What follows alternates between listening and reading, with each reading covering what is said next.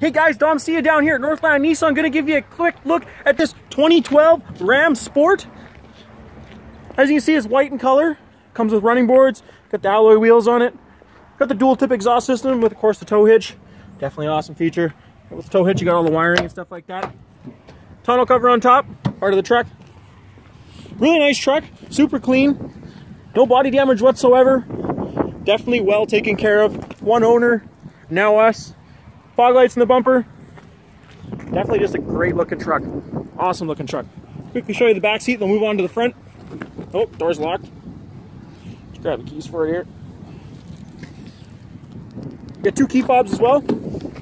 Looking inside the truck here, as you can see, super clean, super awesome. Rubber floor mats. You also got the storage underneath here. Got a cooler under there. Great. Seats fold up. You got even more storage under here. Look at that. Tons in there. Fold on down, just like that. Got a plug in the back there as well. Lots of door storage. What's up inside here? Take a look at the door here. You got power windows, power locks, power mirrors, power seat, the lumbar adjust, brake controller, auto lights, of course your window wipers, all that on there. Got a center console, so it's a five-seater. Definitely awesome. Even deeper center console down there. It looks really good. Cup holders. Of course, you got another power outlet right there. Lots of room. We got auto dimming mirror on it too, which is great. And of course, a power rear slider, which is that button back there with your rear slider.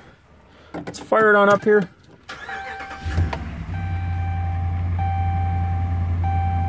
It's at just 70,413 kilometers.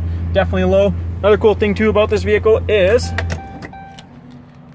factory remote start. Press that button twice and your vehicle starts on up. If you have any other questions about this Ram, feel free to give us a shout, 250-561-8797. I can give you as much as I can. Thank you.